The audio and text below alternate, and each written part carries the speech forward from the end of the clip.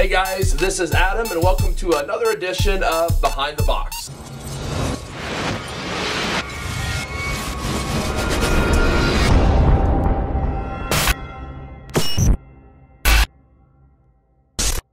Okay, so you can see that today it's just me. Uh, we're coming off of Phoenix Comic Con. We, are uh, we're based out of Phoenix, Arizona.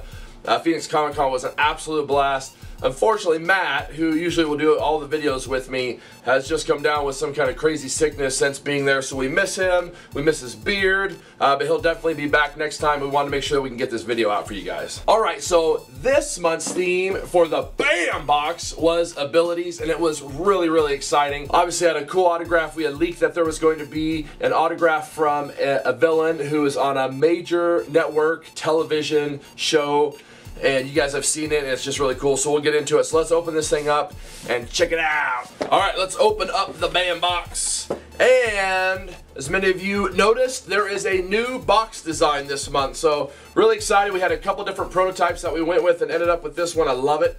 Uh, because it's just so clean. Uh, a lot of you said oh this think this is like the bam box uh, URL Actually, this is URL to our online community. I'm going to get more uh, to that here in just a minute. But as soon as you open up, I, I did a little uh, makeshift box here so you see both pins under there, but as soon as you open up, you see the new edition BAM pins. Now this is really exciting for me personally because when I started BAM Box, this was one of the ideas that was around right from the beginning and I knew I wanted to see if the box would get to a certain stage before we began introducing BAM pins and obviously the box did which is really exciting for us. So thank you thank you thank you. We're growing like crazy and as we grow it just gives us more opportunities to continue to put really cool things into this box and even get better as we go along which is exciting for us here. So the introduction of BAM pins was something that I have been just waiting for.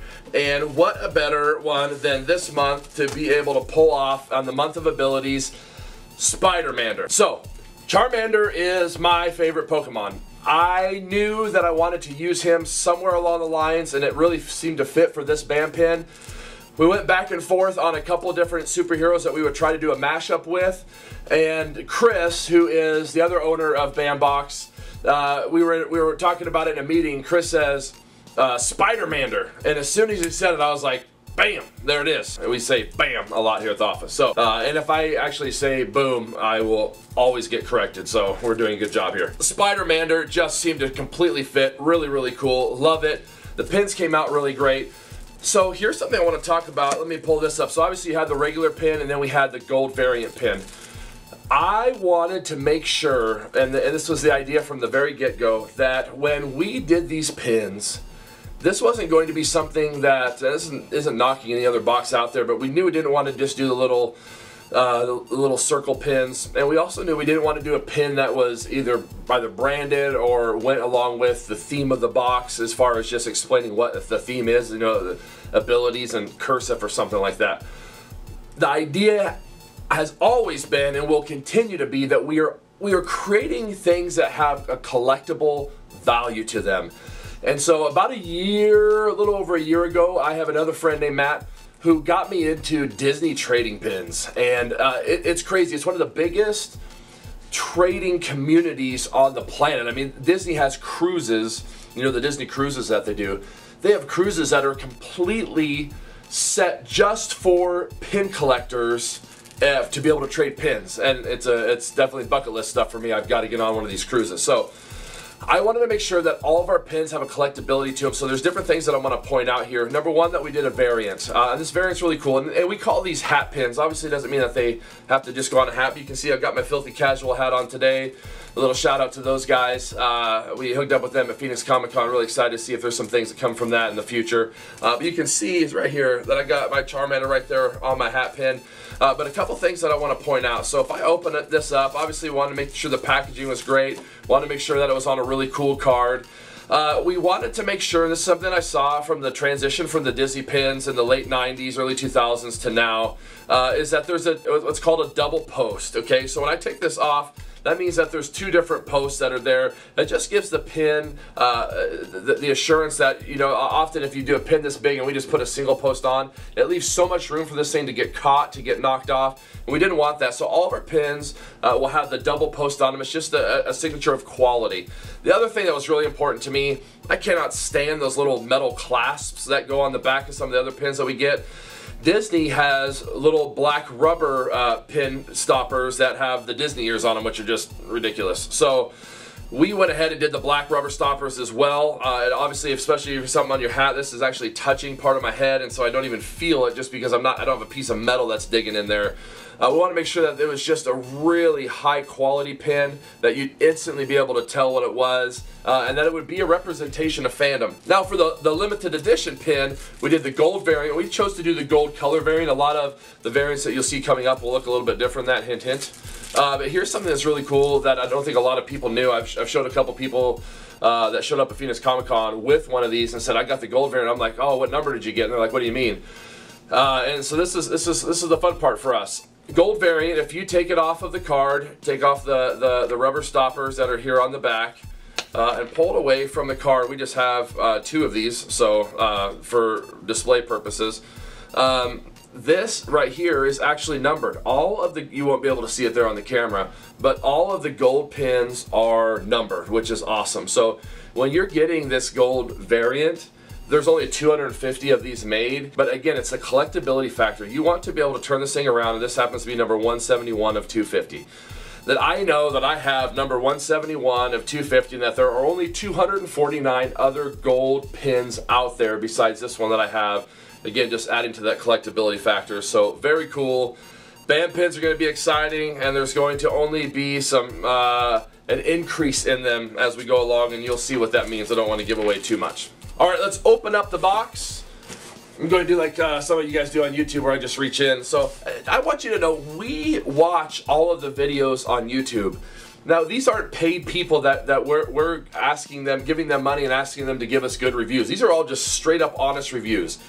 And it's incredible. Uh, there's been a lot of really positive criticism that's come from it that we've been able to take and change and tweak because we listen to that stuff from you guys. We don't have this thing all figured out. We want to continue to get better. The moment as a company that we think that we have this thing figured out or we have the corner on some sort of part of the niche of the subscription box, then we, we absolutely have failed you and we will not do that. We will always listen, always tweak, always try to improve, always try to get better. It is the cornerstone of how this subscription box, the Bambox, has been built. So, uh, but we watch the videos and we love them. I mean, it, it's as soon as a new one comes on, someone in the office, I'll hear from down the hall, will be like, "Hey, there's a new video," and we'll all crowd into the conference room and turn it on on one of the TVs, and so it's super cool. So. Let's start with the cardboard VR glasses. Now, a lot of people got this and had no idea what it was, and that was great. Uh, Chris is actually the one who curated this one. He, he helped me curate some of this box. Uh, he's got a really cool eye for some of the stuff. Uh, and, and Chris was like, hey, this is an item I think would be a really great inside the abilities box. And you guys saw what we did. We did with the abilities. We wanted every item to be attached to an ability, right? So we wanted the items that we were putting up to, to be able to say uh, in, in, invisibility or if it was going to be uh, telekinesis or whatever it was. And so this one was great. All right, these are really cool. So you have the, the strap here, which is great. Uh, this thing just flips open because obviously this is for a phone. Uh, so the insert that is here flips over really quick to the side. Uh, what's awesome about these, again, we love the fact that there are uh, a place for the actual headband. So that flips over on that side. I can't tell you how many of these that I've built now, so it looks like I'm a pro, but when I first fumbled through this thing, it was uh, probably pretty hilarious. So, uh, and then this one comes down as well, and then you have that ability to actually put it on your head. So one of the apps uh, that we put on a little card that we actually put in the box was, I think you pronounce it Verse, uh, it's V-R-S-E. That app is incredible. So I'm a big fan of the band Muse. Uh, they were actually just here in, in Phoenix uh, sometime during the winter and went and saw the, the drones tours freaking incredible show. But on that Verse app, they have different uh, short films uh, and different music videos. And one of the music videos they have is uh, from Muse, and it's it's off the new album. And it's crazy because you're literally standing in the middle of this music video. I mean, one minute you're you're like actually up on the kick drum, and then you're you're next minute you're over here, and there's a riot happening between police and people and there's stuff getting thrown over the top. I mean, it is just absolutely crazy. So these are incredible. Well, we'd love to put an Oculus Rift in every single box for you. Yes. Uh, but instead, we wanted everyone to be able to get the chance to see just how cool this new ability is uh, to be able to immerse yourself in a completely uh, 360 degree environment. Awesome, really excited for VR for the future. So this is an incredible, incredible item that we had a lot of fun with. Okay, next we have got, you can hear the magnets going now. We have got the magnetic putty. This stuff is just absolutely crazy. When this came in, uh, I've had great conversation with a lot of you uh, uh, just about how much fun you've had with it. When this came in, productivity completely dropped. I still have it sitting on my desk. Uh, it's just fun. I just love, I love personally just throwing the magnet in the goop and just watching it like eat it. It's so totally, totally crazy. But the ability to, I mean, this reminds me, uh, I think it does probably a lot of us of uh, Silly Putty as a kid. Um, I, I, one of my favorite things in the world to do is that dang Silly Putty with, um, uh, would run it flat and, and, put it over a newspaper magazine, and I always thought that was so awesome. But what's really fun about this is that um, you obviously have the ability to to maneuver this stuff because it just is trying to grab a hold of, uh, of everything in here. And we actually had contests uh, there in the, within the office. You may not be able to see this really well on the uh, on the actual screen, but we had contests within the office of who could get this to go uh, the farthest standing up. And so uh, I won't try it because I completely lost. I was not very good at it. Uh, and then everyone else would be like, look what I did. And I just would dump mine in the middle and, and think it was awesome. So this was, again, another one of those items that you just don't see in a subscription box. It's fun. It's cool. Uh, it's something you can sit at your desk and you can have. And, and, and, again, a conversation piece. I can't tell you how many different people, when people come through the office a lot, uh, they're like, what is that? And, and I'm like, oh, you, you haven't seen this? Oh, check it out. And, you know, dump the magnet. And look, it's eating the magnet. It's crazy. So uh, another good conversation piece, good fun uh, item that we are able to put in this month's BAM box. So there is magnetic putty. Okay, next we got a couple jewelry boxes down here. Let's see what we got, see what we got. All right, this was awesome. Uh, this is one of the ones that had the one-up card. Obviously, there is only one ring to rule them all. Uh, and here's two. That didn't really make sense. So, uh, this was really fun. So we did, I'll show this one first. We did the black variant ring, which again, it's just something that's unique and different when we talked to the jeweler uh, who made these, it, quality was really important for us. Again, uh, the Bambox is something that we want to be synonymous with just not only different and fun and crazy and what are they going to do next, but also quality of items. So uh, these rings have an in insane high quality. They come on a really nice chain. I've been calling it Elvin for years, uh, but recently I was abruptly corrected by somebody who said that is actually Elvish. I don't know why Elvin sounded so good. I don't know. So, uh, but this is really awesome. So we have got uh, just a really high quality ring that has the Elvish writing on the outside and then also on the inside. We actually had someone post on Instagram, this was really cool.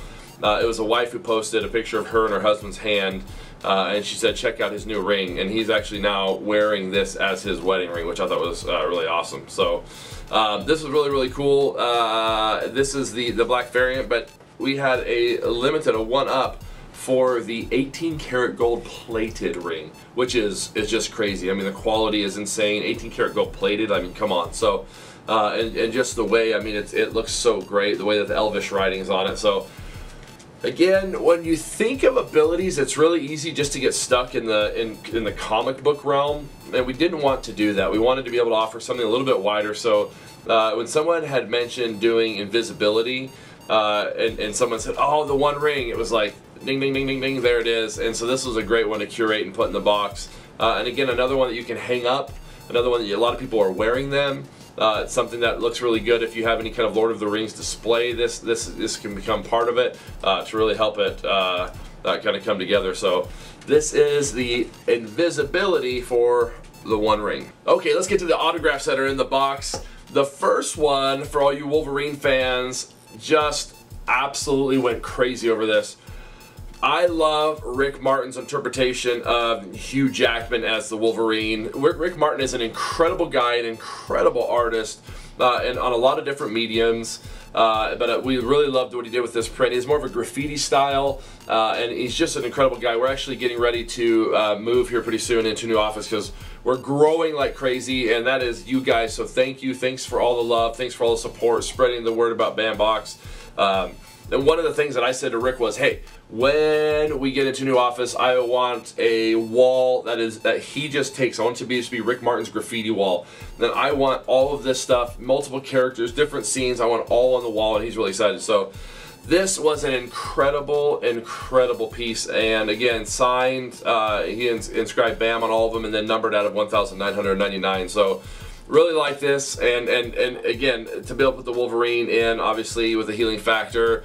Uh, a lot of people went crazy over the Wolverine print, and we love seeing your guys' pictures. There's there's been several of you that have been sending in the art prints. You're actually getting them framed, putting them up on the wall, and displaying them. Keep sending those to us. Hit them, uh, hit us up at, at the Bambox on Instagram, at the Bambox on Twitter, uh, and then also to our Facebook page because we love seeing that stuff. Uh, really, really cool piece by Rick Martin. Uh, in his interpretation of Hugh Jackman as the Wolverine. All right, let's go to the final autograph that is here. Now, we had leaked that there was going to be an autograph from a, a villain who is currently playing a role on a nationally syndicated television show and we were so excited. A lot of people were speculating different people it could be. And we heard all kinds of really cool ones from, uh, you know, villains in Once Upon a Time to uh, something like Walking Dead. I mean, we heard all over the place. Uh, and, and I think there were a couple people who actually said it would be so cool to see uh, Zoom. And you know, I see this, of course, I'm like, oh, of course it is. So, what an incredible photograph. This is the concept photograph for the Zoom costume. And it is signed by the iconic Tony Todd. I mean, this guy is an absolute icon. I have the memory still to this day. I, I when I walk past a bathroom or, or somewhere else where there's a mirror and I can see the mirror and it's kind of dark, I still shudder because I remember my friend Doc uh, my friend Angie, and my friend Michelle, the four of us went over to Michelle's house in seventh grade and we are going to rent a movie and uh, we want to rent a horror movie, wanted to get scared and so we rented Candyman uh, who was played by Tony Todd.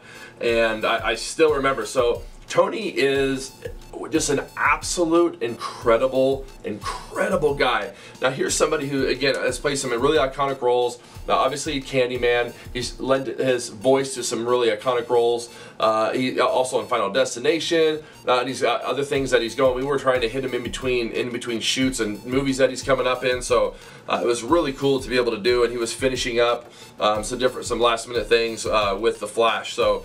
Uh, we really love this. Tony Todd, Inscribed Zoom, uh, signed photograph. Uh, couldn't believe that we were able to get Tony, uh, he was excited to be able to do it for the BAM box uh, and put this in every single box for you guys. So a true piece of memorabilia here. Don't just let this sit somewhere in a box. Frame it, display it, uh, because this is the voice of Zoom. All right, guys, that is it for May's Abilities box. What a great box. Really fun for us to be able to introduce a new box the uh, introduction of the BAM pins to be able to do the, the, some of the stuff that we did, the Rick Martin print, the Tony Todd signed photograph from Zoom is just crazy. Again, I, I love what CW is doing uh, through through Arrow, through the Flash, through Supergirl. Now you've heard me say I, I just absolutely love it. Uh, some of the other cool items to be able to display. So I want to say thank you guys. We've gotten great feedback. We're going to continue to do behind the box every single month. We love to get you guys in on the stories. We have some great stories about some of the items that are coming in next month's box. Uh, we're really excited about. So until then, thank you, Bambox community, and we'll talk to you soon.